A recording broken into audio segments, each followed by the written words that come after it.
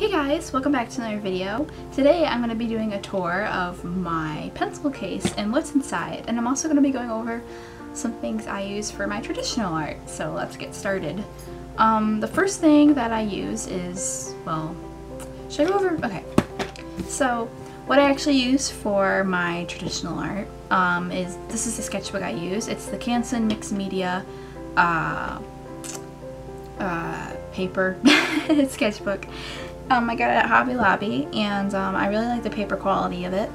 Uh, I can show some drawings I did in here. Um, it, it, it, takes marker pretty well. Uh, this, it does bleed through so I do have to use, um, I use just a piece of paper and I just put it over and then I draw and it catches all of the things on there. I also use it for swatches but um, I really enjoy the paper quality. It's pretty it's thick, but it's not like overly thick like Bristol, which is pretty nice, which I really like. And it also takes sketches pretty well, as you can see. It does smudge a little bit, but not too bad if I'm not too heavy with my hand, then it doesn't smudge too bad. Alright, so now we're gonna actually go over what's in my pencil case. Now my pencil case, my mom actually made for me. It's made out of it's made out of an old um, Sour Patch Kids uh, candy case, not sponsored. um, so it, it's I really like it. It's lined. It's it's lined on the inside. It's very nice. It's nice and big. That way I can fit, jam pack everything that I need. So. Oh dear.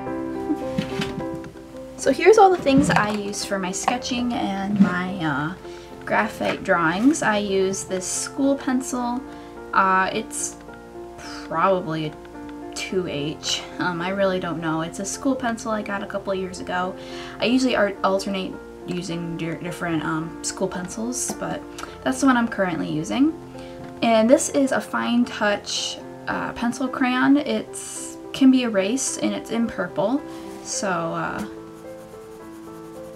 and be but because, and it is erasable. But because it's a cheap brand, it doesn't erase very well and um, it doesn't sharpen very well. So I'm not really a big fan of these. I probably won't, if I continue using colored um, sketching pencils, I'm probably going to get a Prismacolor Col-Erase pencil in the near future. And then this is what the, you know, I can get pretty dark lines and pretty light lines. And, and then this one is uh, 2B. I've been using this one more recently. I really like it for drawing. It's really heavy, so it helps me to have a lighter hand, which I've developed over the which I've developed over the past couple of years, and um, you can get some pretty light and dark lines with this. So I really like this one. And then for my eraser, it's just a standard eraser. Um, I have a ton of these all over the house. Um, and then I use these smudge smudge sticks. Uh, I like using these for when I do a little bit more. They smudge pretty well. They get a little bit dirty though. I'll have to uh, roughen these up and I'm pretty sure you can use um, sandpa sandpaper. Oh my gosh. I'm pretty, I'm, I'm sorry, I'm so tongue-tied. I'm pretty sure you can use uh, sandpaper to get all that dust off of it, or the, but I'm gonna have to see if it actually works. And then for my pencil sharpener, I have a Yoobi pencil sharpener. This is probably, oh gosh, again. This is probably the best pencil sharpener I've used so far. It's not, it, it's nice. It, it, can hold a pretty fair amount of um, pencil shavings and it's got, it's got two holes in there and um, it doesn't dull very easily, which I very much like. And then for my lining, I have, uh, now for my lining tools, I have, this is a Micron 050.20 mm. Uh, I haven't really been using this pretty recently, but I do use it every once in a while. It's pretty thin. I don't know if you can see that. Um, so, although I do like using it, I usually use a, um, a heavier one or a thicker one, but this is the one I have in here right now. And then for these I have their Pigma there's um, they're the same brand as Micron, but they're Pigma and they're brush markers, brush markers, brush pens, and it comes in fine, medium, and bold, um, which is FB, MB, and BB.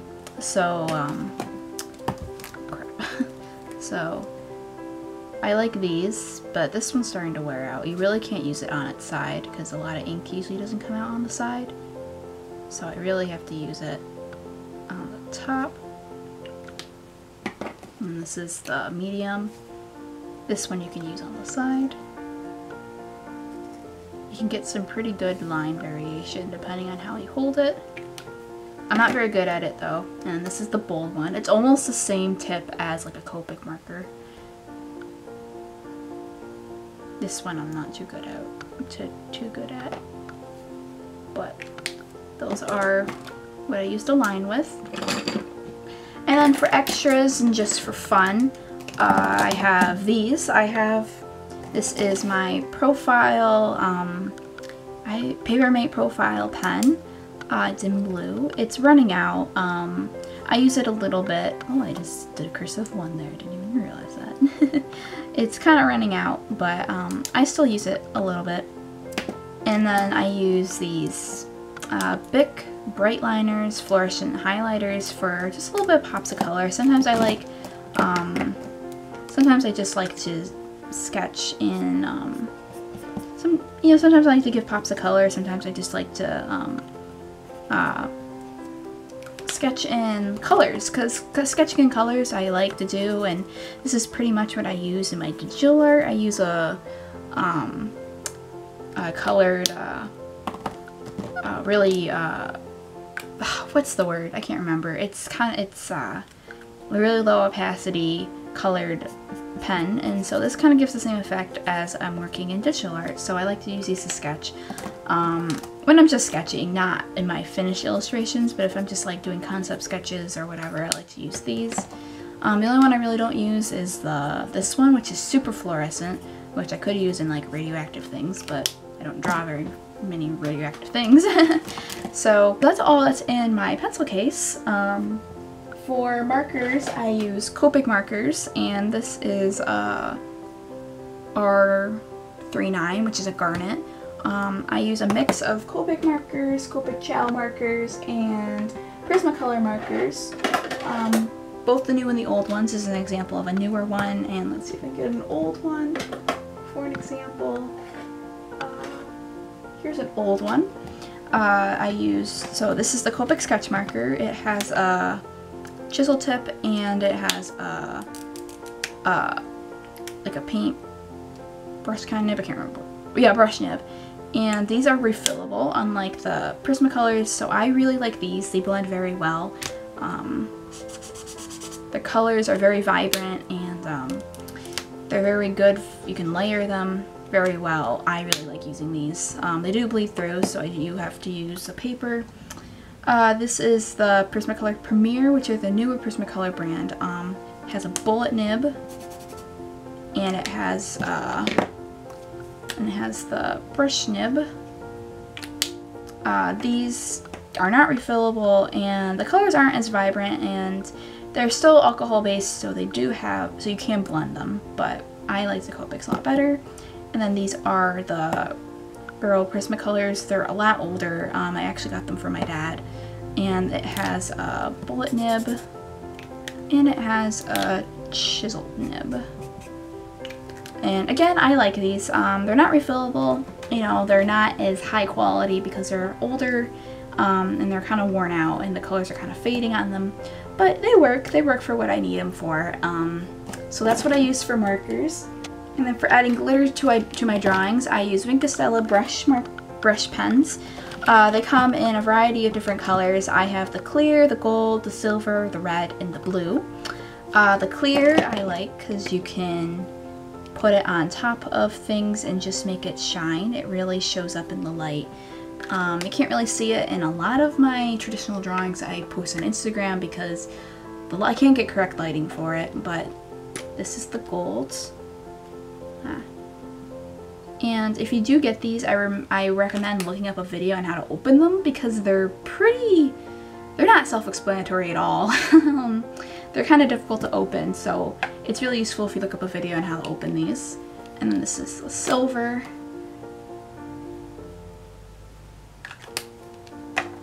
And then here's the blue. What?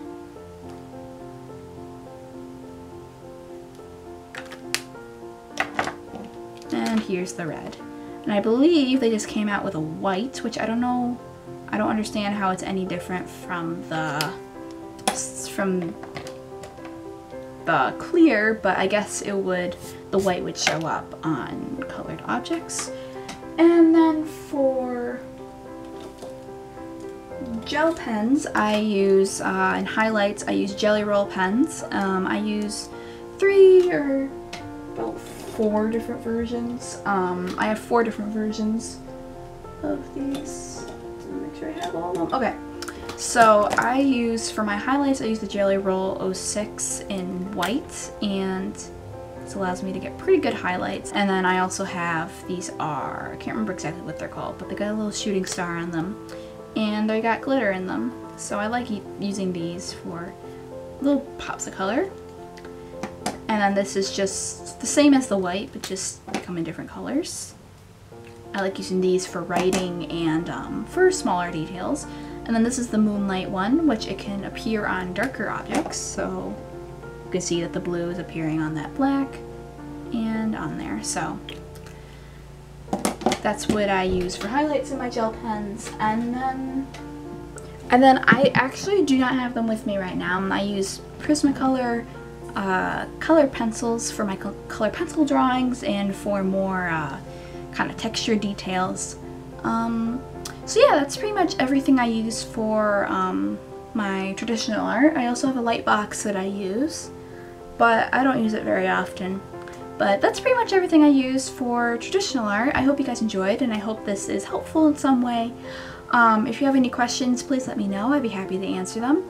If you have any questions about my uh, what I use to draw um, for digital art um, and how I make my videos, it'll be in the description below. But if you have any questions about traditional art or just art in general, let me know and I'll do my best to answer them. I love talking to you guys. So, um, thank you so much for watching. Uh, my name is Star and I'll see you guys in the next video. Bye!